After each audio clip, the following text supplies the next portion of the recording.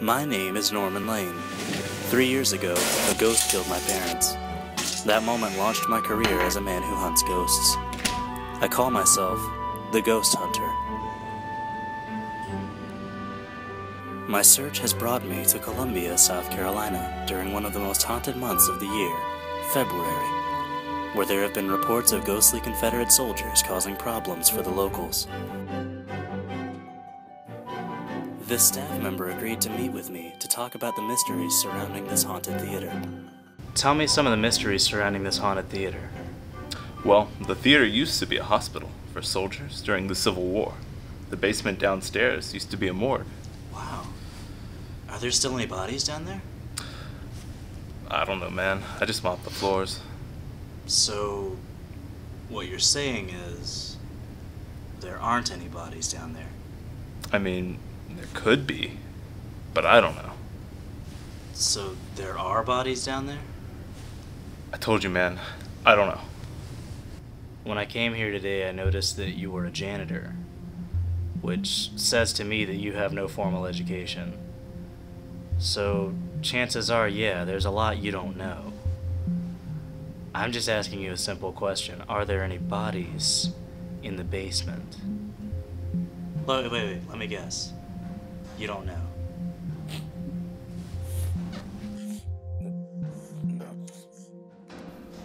I decided to investigate the room myself because this guy is quite stupid. This is it. Can you tell me more about what I should be seeing here? Well, this used to be the morgue. Students that come down here say that they feel people watching them. Uh, maybe a cold breeze or something. That could just be the air conditioning. Uh, there's no air conditioning in this room. Well, not gonna lie, I'm not feeling any cold winds. Is it broken or? There's no air conditioning. It can't really break. Seeing as all the ghostly activity has been gone from this theater for some time, and that this funny smelling janitor was either lying or an idiot, we decided to check out another haunted location. My next stop was just a block away at a local graveyard. However, everyone knows that ghosts don't come out during the day, so we came back at night. This was much more scary, and luckily, to help entice the ghost to come out, we enlisted the help of a local self proclaimed ghost expert named Handsome Larry. So you're Handsome Larry? Yeah, I reckon so. They tell me that you're a ghost expert. Yeah, I can. Uh, I can talk to the dead. Uh, sometimes they talk back. Wow. Do you think that you could summon a ghost for us? Yeah, I reckon so. uh, Wow, th- that'd be great. Can we start right now? Yeah. Okay, great. Clearly, he was a professional, so I stayed out of his way so that he could work his magic.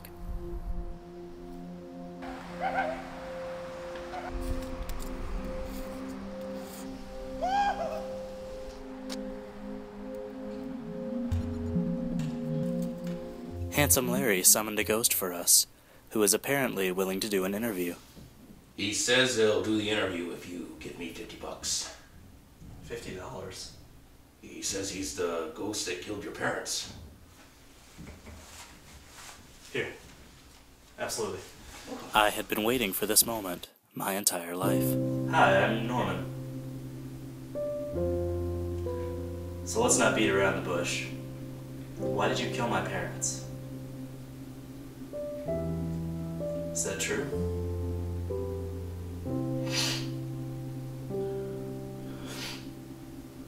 All this time I thought a ghost had killed my parents. I had no idea it was cancer.